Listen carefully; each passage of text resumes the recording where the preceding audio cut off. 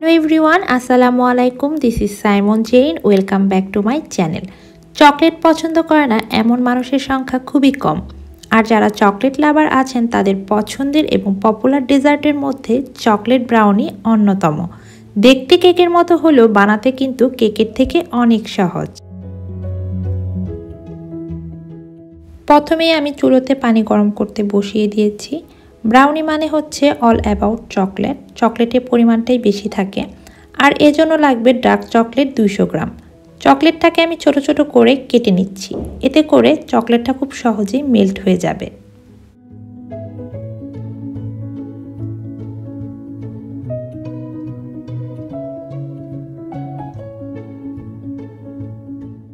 এরপর লাগবে half cup butter butter এবং চকলেট একত্রে আগে থেকে করে রাখা গরম পানির পাতিলের উপর বসিয়ে দিব। এ পর্যায়ে চুলোটা কিন্তু আমি বন্ধ করে দিয়েছি। কিছুক্ষণ পর দেখবেন পানির হালকা ভাপে বাটার এবং চকলেটটা মেল্ট হতে শুরু হয়েছে। এ পর্যায়ে স্পেচুলা দিয়ে নাড়তে নাড়তে দেখবেন একটি পর্যায়ে চকলেট এবং বাটার খুব ভালোভাবে মেল্ট হয়ে গিয়েছে। এ পর্যায়ে বাটিটা আমি একটি সাইডে রেখে নেক্সট স্টেপে চলে যাব।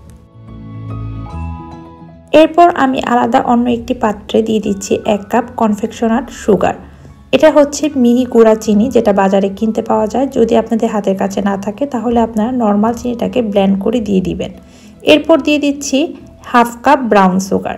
Brown সুগারটাও যদি আপনাদের হাতের কাছে না থাকে, সে পর্যায়ে আপনারা কনফেকশনার সুগারটা হাফ কাপ আরও বাড়িয়ে দিবেন। ব্রাউনি যেহেতু ডার্ক চকলেট দিয়ে বানানো হয়, যার কারণে চিনির পরিমাণটা একটু বেশি লাগে। এরপর লাগবে তিনটি ডিম। ডিমগুলো অবশ্যই রুম টেম্পারেচারে থাকতে হবে। সবগুলো ডিম আমি একসাথে দিব না। এখানে আমি একটি একটি করে ডিম দিয়ে চিনির সাথে খুব ভালো করে মেশাবো। এখানে আমি হ্যান্ড উইক্সের সাহায্যে ডিম এবং চিনিটাকে খুব ভালোভাবে বিট করে নিচ্ছি। বিট করতে করতে একটি পর্যায়ে দেখতে পারবেন মিশ্রণটি অনেকটা ক্রিমের মতো হয়ে এসেছে এবং রংটা অনেকটা হালকা হয়ে এসেছে।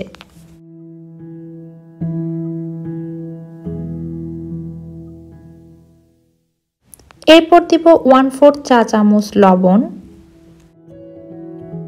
এক চা চামচ ভ্যানিলা এসেন্স, তবে আপনারা চাইলে চকলেট এসেন্সটাও ইউজ করতে পারেন। এরপর দিয়ে দিচ্ছি আগে থেকে মেল্ট করা বাটার এবং চকলেটের মিশ্রণটি। তারপর আবারও আমি হ্যান্ড উইক্সের সাহায্যে সবগুলো উপকরণ একসাথে খুব ভালোভাবে মিশিয়ে নিচ্ছি। ব্রাউনি বানাতে ময়দার পরিমাণটা খুবই কম লাগে। এখানে আমি হাফ কাপ নিয়েছি ময়দা আর ওয়ান ফোর্থ কাপ নিয়েছি আনসুইটেন কোকোয়া পাউডার ময়দা এবং কোকোয়া পাউডার একবারে না দিয়ে একটি চালনির সাহায্যে ছেঁকে দিলে খুব সহজে দানাগুলো ভেঙে যাবে এবং ডিমের মিশ্রণের সাথে সেটা মিশে যাবে খুব সহজেই আপনারা কেউ যদি ব্রাউনি বানাতে সেমি ডার্ক চকলেট কিংবা মিষ্টি চকলেট ইউজ করেন, সেক্ষেত্রে কিন্তু চিনির পরিমাণটা কমিয়ে দিবেন। এরপর আমি একটি স্প্যাচুলার সাহায্যে সবগুলো উপকরণ খুব ভালোভাবে মিশিয়ে নিচ্ছি। খুব জোরে জোরে মেশানোর দরকার নেই, আস্তে আস্তে করে মিশ্রণটাকে খুব ভালোভাবে মিশিয়ে নেবেন। সব শেষে দিয়ে দিচ্ছি দুই টেবিল চামচ নোটেলা। নোটেলা না থাকলে আপনারা এখানে চকলেট চিপস ইউজ করতে পারেন কিংবা ডার্ক চকলেটটাকে ছোট ছোট করে কেটে এ পর্যায়ে আপনারা দিয়ে দিতে পারেন। এটা সম্পূর্ণই অপশনাল আপনারা চাইলে এটা স্কিপ করতে পারেন। তবে আমার কাছে মনে হয় যে, এ পর্যায়ে যদি নোটেলা মিক্সড করেন, তাহলে ব্রাউনির টেস্টটা অনেক বেশি ভালো আসে। এখানে আমার মিশ্রণটি রেডি হয়ে গিয়েছে, আর মিশ্রণটি রেডি হবার পর খুব বেশি সময় না নিয়ে বেক করে ফেলাটাই ভালো হবে। এখানে আমি স্কোয়ার শেপের ফাইভ ইঞ্চির হিটপ্রুফ একটি বোল নিয়ে নিয়েছি, তবে আপনারা চাইলে এখানে কেকের মোল্ড ইউজ করতে পারবেন। আর মোল্ডের চারপাশে আমি এখানে হালকা করে বাটার ব্রাশ করে নিচ্ছি।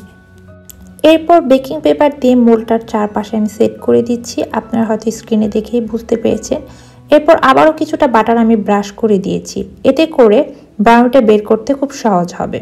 আগে থেকে তৈরি করা চকলেট মিশ্রণটি আমি দিয়ে উপর থেকে একটি স্প্যাচুলা দিয়ে খুব সুন্দর করে যতটুকু পেরেছি আমি সমান করে দিয়েছি। সবশেষে মোলটাকে ঠিক আমি এভাবে একটু ঝাঁকিয়ে নিব। এতে করে ভিতরে যদি এক্সট্রা কোনো বাতাস থাকে, তাহলে সেটা বের হয়ে যাবে। প্রিহিট ওভেনে তিনশো পঞ্চাশ ডিগ্রি ফাইন হাইট অথবা একশো আশি ডিগ্রি সেলসিয়াসে ফর্টি ফাইভ মিনিটের জন্য বেক করতে হবে। ফর্টি মিনিট পর আপনার একটা টুথপিকের সাহায্যে চেক করবেন যে আপনাদের ব্রাউনিটা পারফেক্টভাবে কুক হয়েছে কিনা। যদি টুথপিকের মধ্যে কিছু লেগে না থাকে, তাহলে বুঝতে হবে যে ব্রাউনিটা পারফেক্টভাবে হয়ে গিয়েছে। আর যদি টুথপিকের মধ্যে কিছুটা অংশ চকলেটের থেকে যায়, তাহলে আরও ফাইভ মিনিট বেক করে তারপর আপনারা বের করে নেবেন। ওভেন থেকে বের করার পর ওয়েট করতে হবে রুম টেম্পারেচারে আসার আগ পর্যন্ত। ব্রাউনি যেহেতু স্কোয়ার শেপে হয়, সেজন্য আমি এখানে রুম টেম্পারেচারে আসার পর ব্রাউনিটাকে স্কোয়ার শেপে কেটে নিয়েছি।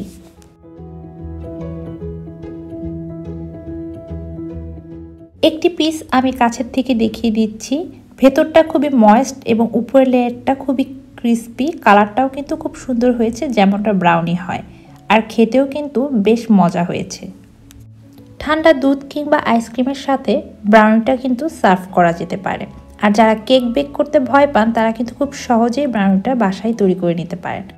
আশা করি আমার আজকের রেসিপিটা আপনাদের কাছে ভালো লাগবে। আর যদি ভালো লাগে, তাহলে আমার চ্যানেলটি সাবস্ক্রাইব করে আমার পাশে থাকবেন। আজকের মতো এখানে বিদায়। আল্লাহ হাফেজ।